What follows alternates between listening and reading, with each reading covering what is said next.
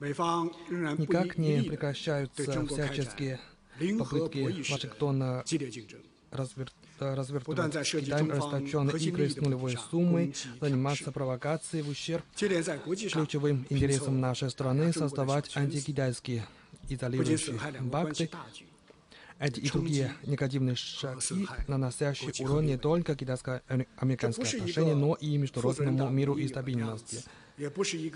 Никто из достойных стран, тем более мировых держав, так не поступает. А твердо защищать свои законные интересы и принимать для этого необходимые меры права и обязанности любого суверенного государства, в том числе и Китая.